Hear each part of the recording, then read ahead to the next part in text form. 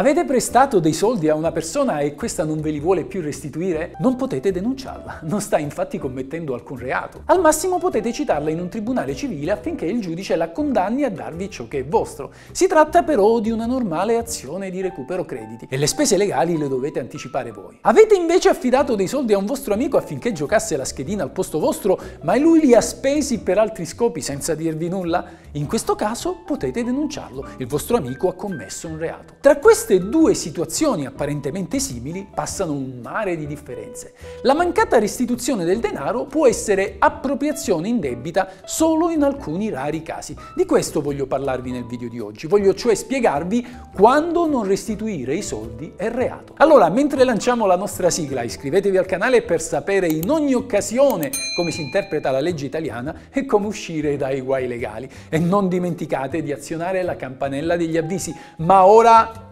Sigla!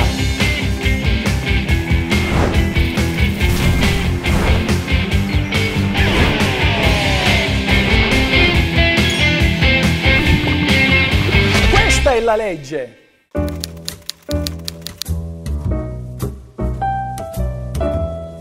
Presta del denaro a un'altra persona e non ne ottiene la restituzione nei tempi concordati può solo agire in via civile per il recupero del proprio credito. Può cioè chiedere, se in possesso di un documento scritto che dimostri l'esistenza del prestito, un decreto ingiuntivo. In assenza di prove scritte deve invece avviare una regolare causa civile. Non può però attivare alcuna tutela penale. Non restituire il denaro avuto in prestito non configura infatti un reato salvo in un solo caso, quando il debito viene contratto con lo scopo di frodare il creditore. Facciamo un esempio.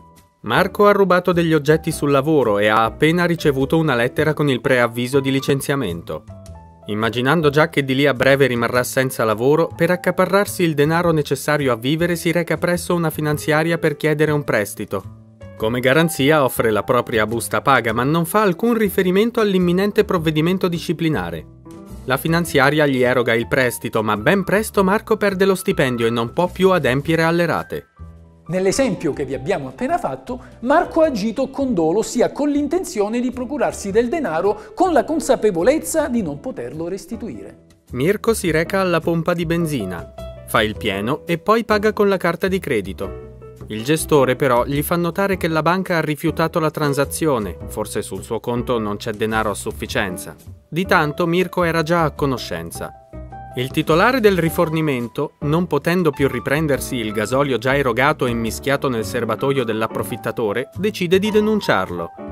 In questi due esempi non siamo in presenza di un semplice inadempimento, ma di un comportamento fraudolento e premeditato, volto cioè a far credere all'altra parte di avere la possibilità di adempiere al debito. In tali ipotesi è possibile denunciare il debitore per il reato di insolvenza fraudolenta. Facciamo ora un terzo esempio. Giovanna chiede 1000 euro all'amica per sottoporsi a un intervento estetico. L'amica glieli concede ma ne chiede la restituzione entro un anno. Giovanna però non è oculata nelle proprie spese e dopo 12 mesi non è ancora riuscita a mettere da parte i soldi per ottemperare al proprio impegno.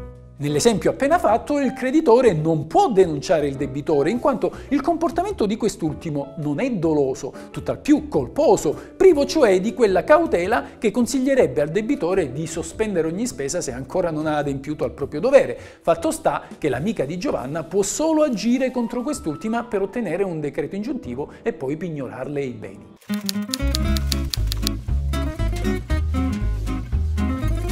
Diverso è il caso in cui una persona affidi del denaro a un'altra affinché questa li impieghi secondo uno scopo specifico. Matteo affida a Roberto 200 euro da dare all'amministratore di condominio per le spese mensili, ma Roberto li usa per andare a cena con gli amici. Silvana affida al proprio fidanzato Edoardo 5.000 euro per organizzare il loro matrimonio.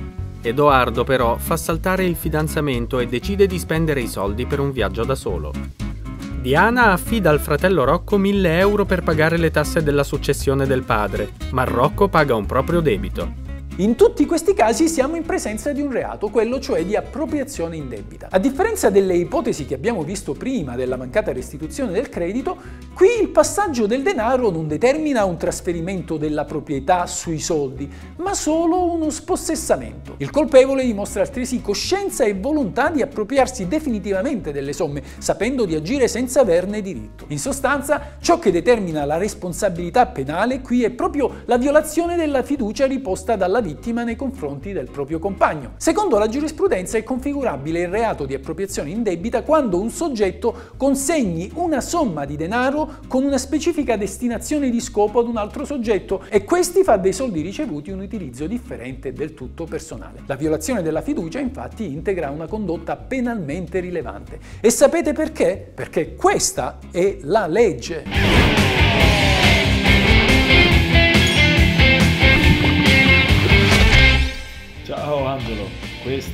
La legge.